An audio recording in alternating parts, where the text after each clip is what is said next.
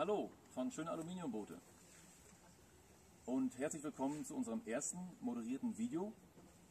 Wir überführen gerade einige von unseren Booten äh, als Ausstellungsboote zu Maximus Abenteuer, ein Teambuilding und Abenteuer-Eventveranstalter in Elmhorst, Lichtenhagen. Ähm, und haben uns gedacht, im Zuge dessen, dass wir mal den Kanufreunden Rostocker Greif im Gaffelschonerweg auf der Holzhalbinsel einen Besuch abstatten. Der Hintergrund dafür ist folgender. Wir hatten ja in der Vergangenheit schon gezeigt, dass unsere Boote mit einer Länge unter 4 Metern ähm, sowohl hervorragend äh, für den motorisierten Einsatz geeignet sind, als auch zum Rudern.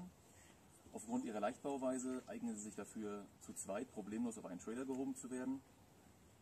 Äh, sie können auf einem Autodach mitgeführt werden, wenn dann ein Dachgepäckträger vorhanden ist. Und selbst von einer Person können sie unter Verwendung von Sliprädern äh, zu Wasser gelassen werden, selbst wenn ein Motor sich an dem Boot befindet. Heute wollen wir mal gucken, ob unser 310S, ein Boot mit einer Länge von 3 Metern und 10 Zentimetern und einem einfachen Boden, motorisierbar bis 10 PS, ob dieses Boot sich dafür auch eignet, äh, in den Trainingsbetrieb der hier aktiven Sportler integriert zu werden. Dafür gehen wir jetzt mal auf den Steg.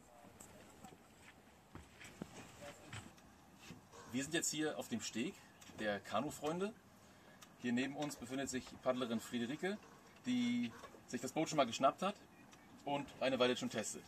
Gehen wir mal hin. Friedi, wie schwer ist das Boot jetzt, mit dem du trainierst? Also 60 Kilo circa. Oh, wie lange trainierst du jetzt schon? Ah, zwei Stunden. Okay, und deine Meinung, wie findest du das Boot? Ja, bisschen zu leicht. Tja, leider fürs Drachenboot zu leicht.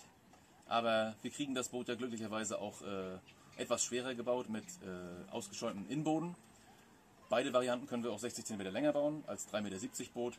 Und ganz allgemein sind wir durch unsere hundertprozentige Eigenfertigung aus Rohblechen und Rohprofilen ja in der Lage, flexibel zu sein und maßgeschneiderte Aluminiumrümpfe nach Kundenwunsch zu bauen. Ansonsten denke ich mal, oder gerade deswegen denke ich mal, wird auch für die Kanu-Freunde sich irgendwas finden lassen.